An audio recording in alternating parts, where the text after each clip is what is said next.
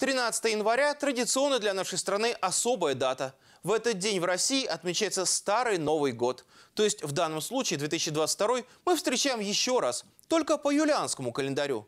Наша съемочная группа поинтересовалась у известных тверских политиков, общественных деятелей, представителей сферы искусства, что для них сейчас означает этот праздник и отмечают ли они его каким-либо образом.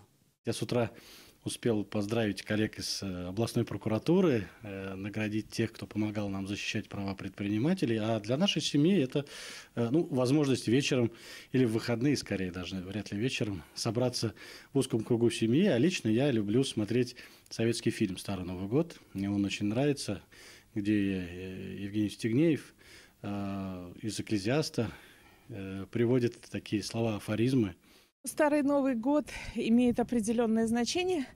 Для нас мы не можем его не праздновать, потому что начинается мой день рождения. Вот. И мы совмещаем спокойно эти два э, ну, значимых мероприятия. То есть это традиция, это уже семейные застолья однозначно. Поэтому я поздравлю всех с наступающим Старым Новым годом. Это хорошее сохранение наших традиций все-таки, да, несмотря на изменение календаря, которое произошло в 2018 году, государственное еще, мы продолжаем его э, отмечать. Ну, конечно, нельзя, наверное, сравнить э, с первым Новым годом, да, а, но, безусловно, этот праздник неотмеченным не остается. Ну и, кроме того, например, мы елку не убираем до старого Нового года. Старый Новый год – это дополнительная возможность встретить еще раз Новый год.